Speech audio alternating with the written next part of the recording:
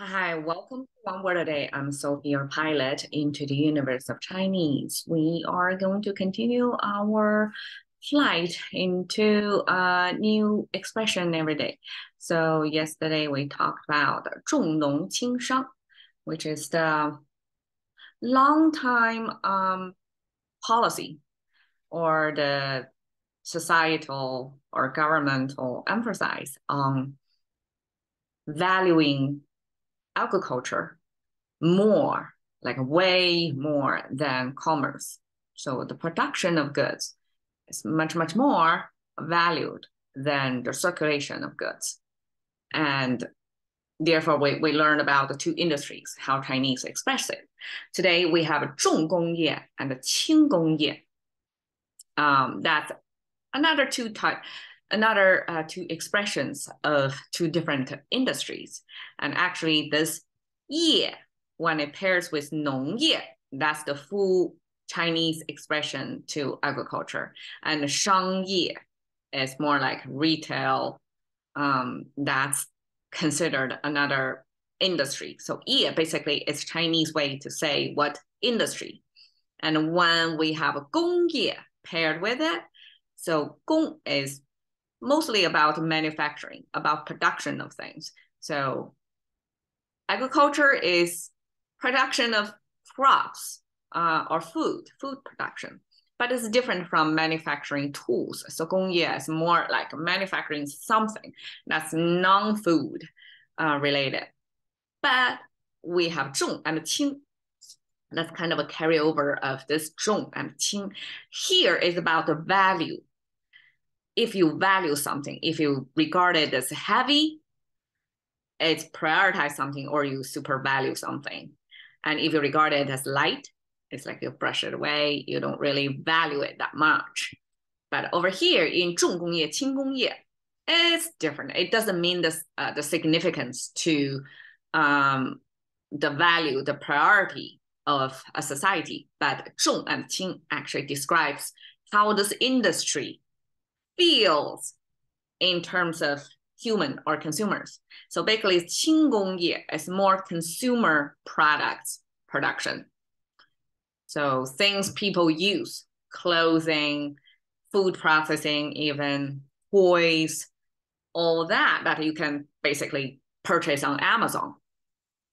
Whatever production of such consumer goods or Walmart, Target, right? you don't want to leave out the traditional retail business, but whatever the retailers are selling you as a consumer, those are produced by the Chinese classified as 轻工业. Then who is 重工业?重工业 is the second layer. 重工业 is the production of the production site of whatever producing consumer goods. So between 重工业 and 轻工业, there is a middle layer so the, the 轻工业 is the layer, the first layer in relation to consumer use goods. And the 重工业 is the second layer that build like raw material, energy, or uh, construction itself, uh, itself, or the tools, the tooling, the machinery. Imagine the apparel company, all that sewing machines, all that uh, that's produced by a 重工业. I guess so. So that's at least that's my understanding of the distinction.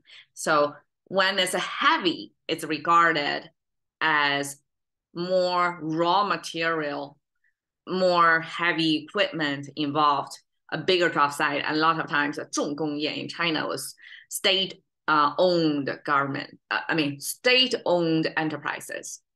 Uh, it's a heavy capital heavy investment versus 轻工业. It can be uh, private. It can be a, a business that started from like trading and then have some capital and started to production of some sort of consumer goods. So, okay, let's review 重 and 轻 again. This heavy um, was made up of the stacking up of four characters together. So I have a human figure side view on the top, and then in the middle, that kind of percolated or embedded by two other characters. So ignore this circle, circular or oval shape with a horizontal line and ignore the bottom two lines. This bigger frame structure is our tree symbol. The tree symbol kind of look like this. Okay, this is a tree symbol. So upturn curve, downward turn curve connected by a vertical line. That's our tree and we have a sun symbol that's oval shape with horizontal line that signifies the energy coming out from the sun. sun. So energy plus the shape is kind of a spherical. Uh, then that's our sun symbol. And then at the bottom, the first layer, the first horizontal line is the ground level. Um, that's like benchmark to that. Then the pointer, like the vertical line keeps going, even if it's part of the tree as well in the symbol. Um, so this vertical line going below the surface level at the ground level, that means some plant is growing.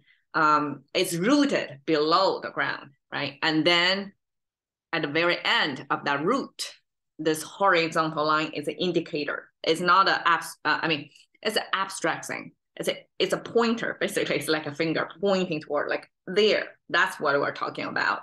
Um, so that's at the very end, the tip of the root.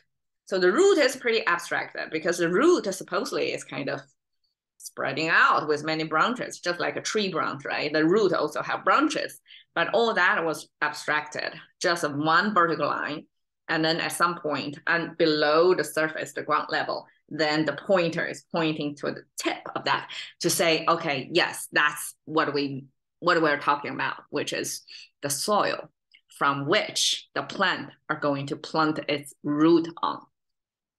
Okay, so all that images stacking up together create the character of heaviness. I'm not sure if it's because it's so many objects involved with plant, with the sun, the solar over there, and then human beings activists on top of the, the soil all that adds to the weight, like a visual weight to this. I'm not sure if that's the case, but um, this is the character that Chinese use to to signify um, it's heavy. There are many solid material on top of that. I guess besides the sun, because the sun is not on top of it, right? It's a visual uh, illusion, if you you may, that um, it's the sun is embedded through the tree trunk over there over here because it's a signifier or it's an overlay of image of the sun. Well, I say it's overlay, actually it's underlay. So the sun is a is behind the tree trunk because that's the vision you see as an observer that the sun as if it appears as if it's embedded on the tree, but actually it's far, far away from the tree. So this this this is the east symbol, the tree plus the sun rising just barely above the horizon. And that um, it's it's still in the middle of the trunks. That's the level, the height of the sun. And that's when the sun just rise up, and that's the east concept. So I'm not sure human plus east on top of the soil, the three symbols basically, uh, how that come together to mean heavy. So that's that's something mystery to be solved. Okay, and the qing is a type of vehicle. So back then, vehicle was made up with this wheel. We can understand. Okay, it's a circle, and then we have this spoke, just cross. That's enough to show spoke, and then we have an axis going or axle going through the wheel and then we have two stoppers on each hand so that the wheel and the axle doesn't separate and the wheel stay in the middle of the stopper. Um, that's my understanding of the structure of the vehicle, the main the main structure of the vehicle because the vehicle need to be powered by either human force, somebody who have to have to car, the wheel, um, or is by animals, by horses or donkeys. So in, in a case, it's a vehicle. And the right side is the sound maker, but also it's a type of vehicle that's light weighted. So this light weighted come from this, um, okay, even if this horizontal line on top of the frame, normally that means the sky. But in this context, because there are water, this is water flowing sign. You can see that looks like water, right? Flowing right underneath. It cannot be the water flowing underneath the, the sky. That would make it rain, right? We have our symbol for rain a few episodes ago.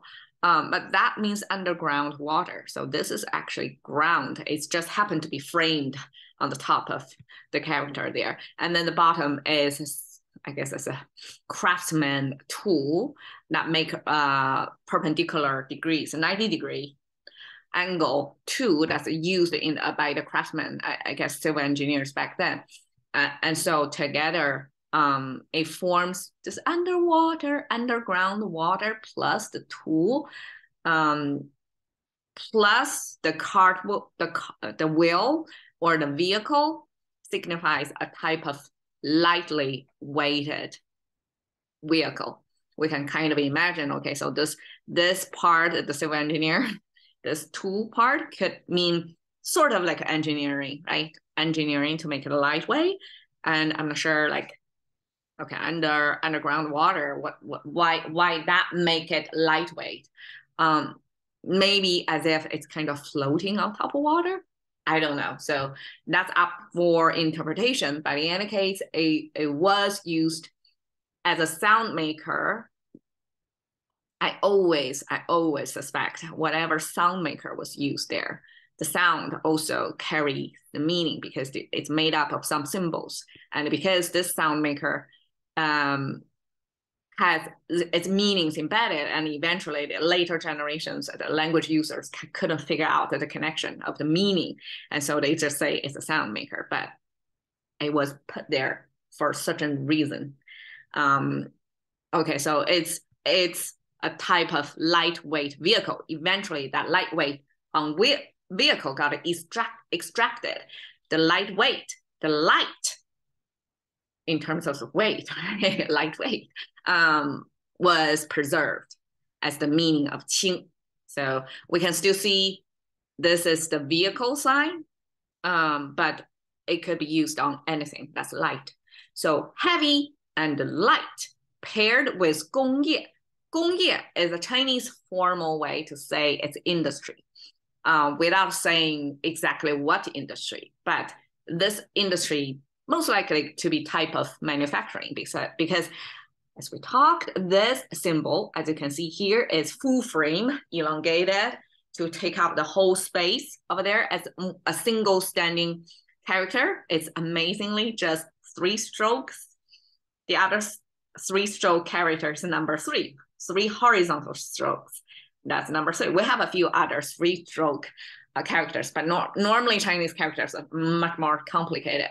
But this character with only three strokes survived over time and becomes an important and frequently used character in Chinese language because it symbols um, craftsmanship or engineering in today's term. So making stuff is the tool that used to make stuff. So this tool then can be used in because later on as, as society gets more complicated besides farming activity there are a lot more specialized tool making or other stuff making stuff making industry so this making with hands with like man-made stuff whatever that is becomes more and more um, popular for among the uh, population right so probably more people are converted from farmers to this makers. So this whatever is making that's using the tools. So here is using the tools to symbol the whole making stuff industry. That's non-farming activity. Okay. And yeah, uh, it's a little bit complicated. you can see the simplified Chinese only keep the top portion, almost like a hat on top of this, but underneath is a whole structure of things that didn't preserve. I guess that's enough to show um, the main features of this. So the whole character, some according to some scholars, is okay. You probably won't even imagine because we don't really, at least culturally, in today's Chinese music making or entertainment or Western, we don't really have such a elaborate frame to hang the gongs. So basically, it's different sizes of metal pieces that you can knock on, vibrate, and make sound in different pitches. I'm not sure in a Western orchestra if there is something as elaborate as that. But back then, music making as part of praising the god or you know asking for favors, kind of using the best sounds, at least to human ears, to try to appease or please the god for favorable conditions, mostly good weathers for um, agriculture to crop production. So that music making has a certain significance to the whole society. So music making back then was not really for entertainment, at least not for the entertainment of human beings. It's entertainment for the gods or the imagined superpower. Um, so this as you can see, the proportion even changed, but this structure on top of the wood frame. So this kind of symbolize kind of looking like a wood frame with this up upturn curve, uh, downward turn curve connected with a vertical line. That's a wood frame. Wood. So something is a wood related. So that means made from wood. And this horizontal line and this line I don't exactly know. Maybe that's a particular type of wood that's grown with a certain density, certain feature. I don't exactly know, but it, it looks like some sort of wooden material used in here. And I guess this could, we can view it as a structure that's kind of holding the stuff in there, right?